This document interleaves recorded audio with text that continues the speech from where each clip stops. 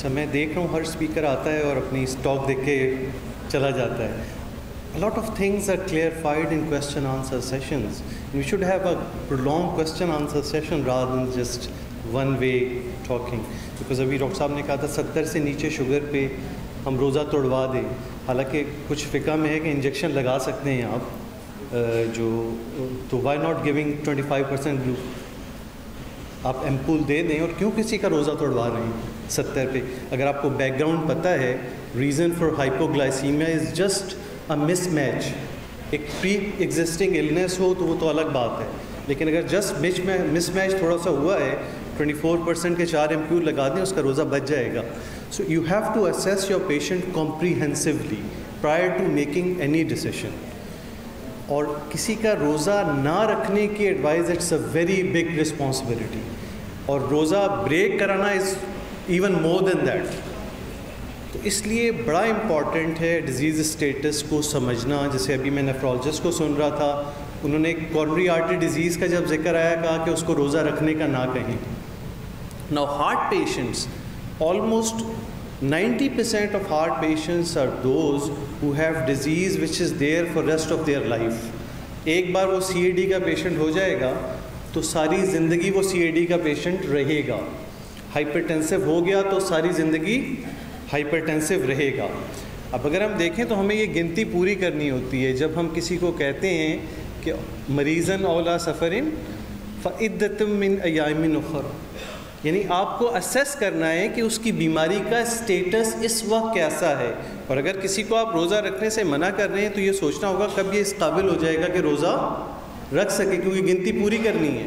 یہ بیماری میں ایک کیجول ایٹیچیوڈ ہمارے پاس کئی مریض آتے ہیں جو سالہ سال سے روزہ نہیں رکھ رہے، کیونکہ وہی کارنری آرٹری ڈیزیز ہے تو روزہ مت رکھیں۔ That's not the case it's very it's this task needs a lot of responsibility and a lot of assessment and then individual approach that's very important اس میں آپ کو کیس سینیریو سے ہی بتاتا ہوں۔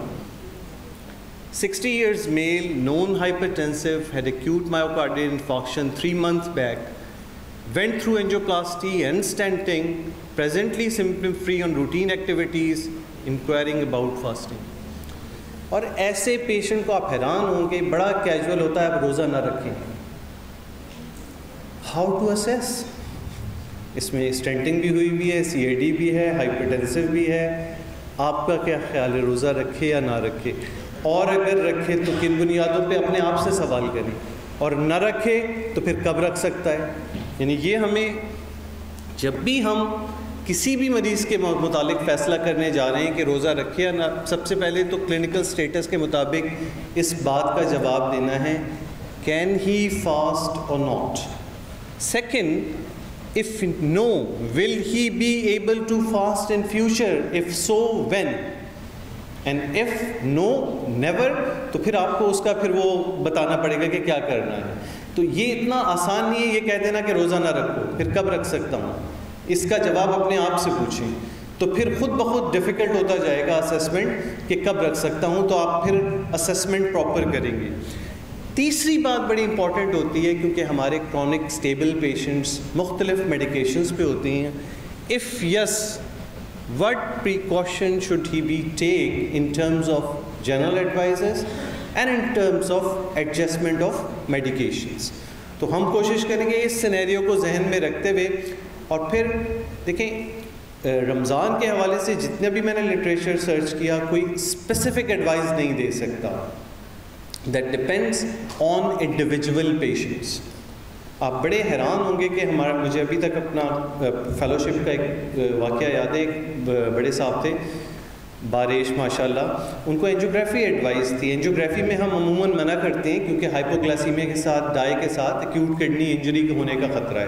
کنسلٹنٹ نے ان کو اسٹرکٹلی منع کیا ہوا تھا۔ اچھا پری پریپریشن کے لیے ہمارے پاس آتے ہیں۔ مجھے انہوں نے کہا کہ بھائی، میں اتنے عرصے سے روزہ رکھ رہا ہوں، آج تک میرا کبھی کوئی روزہ مس نہیں ہوا ہے۔ کوئی ایسا طریقہ کر لیں کہ میرا روزہ بچ جائے۔ And it can be done you have to give I V saline. ان کو ایڈمٹ تھوڑا سا پہلے کروا لیا۔ آئی وی سے لائن شروع کر دی۔ آئی وی سے لائن ان کی چلتی رہی اس کے ساتھ۔ نہ میں نے ایک کنسلٹنٹ کو بتایا کہ ان کا روزہ ہے یا نہیں ہے، نہ اس بارے میں کوئی بات نہیں کی۔ اور وہی سبسٹیچیوٹ ایز اے آئی وی سیلائن ان کی ہائیڈریشن چلتی رہی and got through that fast individualise approach eagerness of patient کہ اس کا ایگرنیس لیول کیا ہے کرنے کا رسک بینیفٹ کا ratio unless and until patient can go into life threatening complications آپ کسی کو روزہ منع نہیں کر سکتے۔ So it's all individualise approach اب اگر ہم کارڈیک پیشنٹس دیکھیں تو ہمارے پاس کون سے نہیں رکھ سکتے اور کون سے رکھ سکتے ہیں؟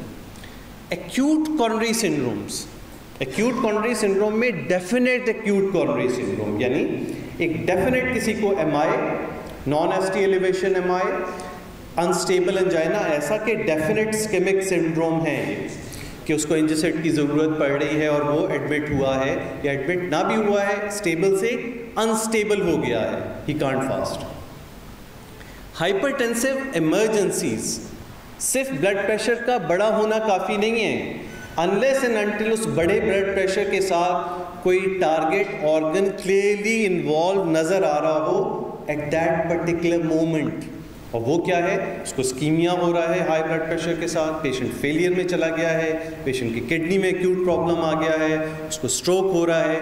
یہ وہ کنڈیشنز ہیں ہائپر ٹینشن کے ساتھ جس میں پیشنٹ روزہ نہیں رکھ سکتا۔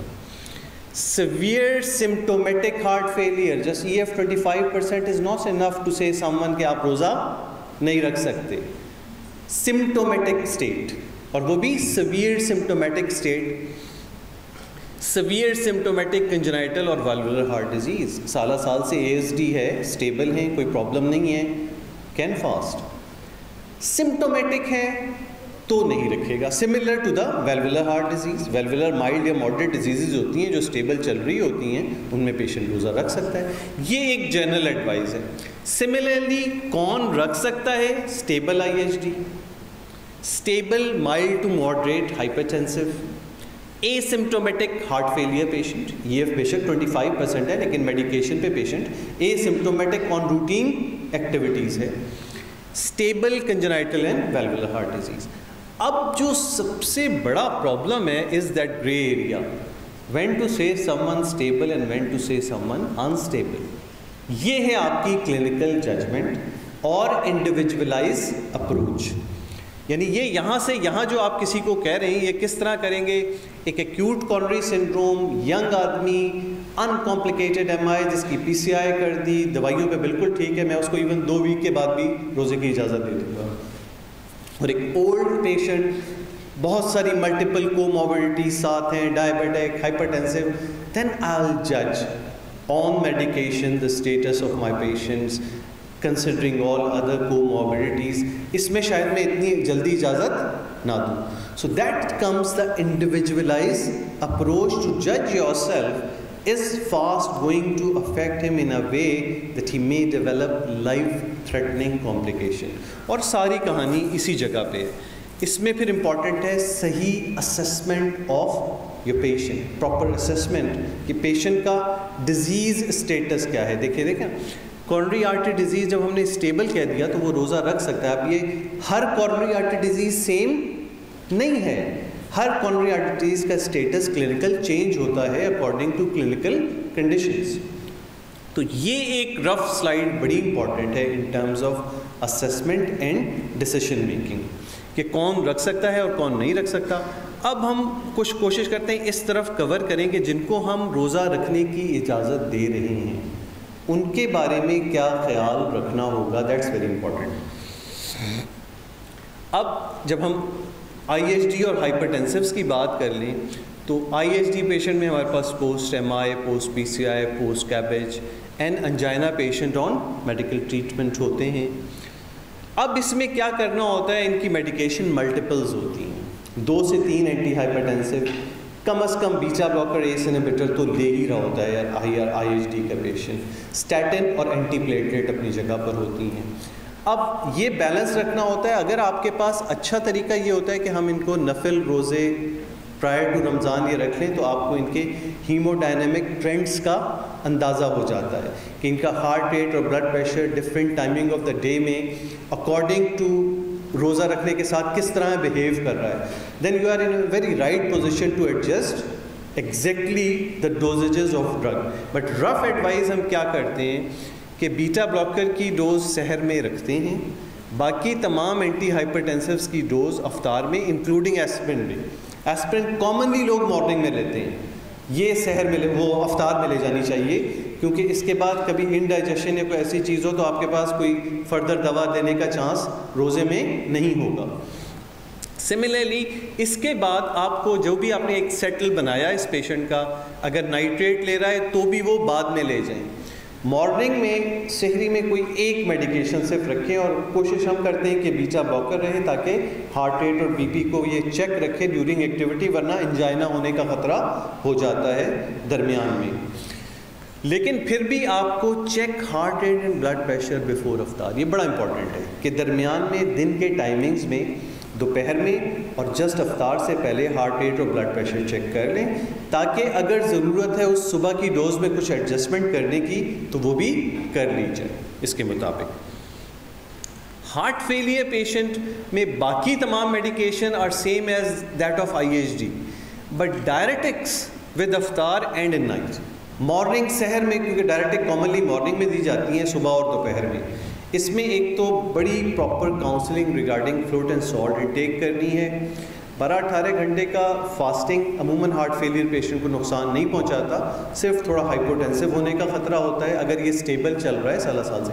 انسٹیبلٹی ہے ریسنٹ ایڈمیشن ہے، تو پھر تو ہم نے اس کو اس کیٹیگری میں رکھنا ہے سمٹومیٹک سیویئر ہارٹ فیلئر تو ڈائریکٹک رات میں لے جائیں۔ جسٹ افطار کے فوراً ساتھ لی اور اس کے بعد لے لی تاکہ اکراس نائٹ کے ڈیوریشن میں اس کا فلوڈ واٹر بیلنس اور صبح میں ویسے بھی اس نے انٹیک نہیں لینا ہے۔ Avoid excessive intake of water and salt اس کی بڑی اسپیسیفک ایڈوائز ایک L dysfunction heart failure کے پیشنٹ کو کرنی ہے check heart rate and blood pressure before افطار for titration of same apply rule وہی ہائپرٹینسو کا اس میں بھی ہوگا کہ بفور افطار بلڈ پریشر اور ہارٹ ریٹ چیک کر لیں یہ جنرل باتیں صرف باقی سب کچھ انڈیویجولائز ہے تیسری بڑی امپورٹنٹ چیز in relation to patient Ramadan and opportunity for positive change جب ہم رمضان روزہ رکھنے ہی اسی لیے جا رہے ہیں یا ایو الزینہ آمن کتب علیکم السیام کما کتب الزین من قبلکم لعلکم تتقون تقوی and تقوی is means self restraint from all evils تو why not evils in your health and diet and all other so a good counseling for stop smoking step towards healthy diet and positive lifestyle changes بہت بڑی opportunity ہے آپ کے پاس کہ patient کو council کریں especially heart patient اور کوئی بھی اور other patient losing weight if obese dietary tips یہ ساری باتیں پہلے ہی ڈسکس ہو چکی ہیں. اس کو میں ایکسرسائز کے حوالے سے کارڈیک پیشنٹس میں اگر وہ کنٹینیو کرتا ہے ایکسرسائز تو افطار کے دو گھنٹے بعد ہونی چاہیے ایکسرسائز افطار سے پہلے کسی صورت الاؤ نہ کریں. اور وہ سیری وغیرہ وہ تراوی کی صورت میں اور اور فزیکل ایکٹیویٹی کی صورت میں ہو ہی جاتی ہے۔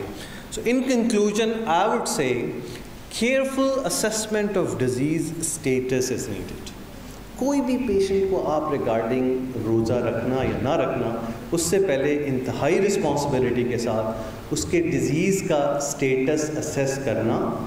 پھر appropriate advising regarding journal measures and drug dosages and timing should be given. And for that, you need to know the previous trends of your patient and then you can advise accordingly. Lastly, Ramadan should be used to bring positive change in life. Thank you very much for your patience.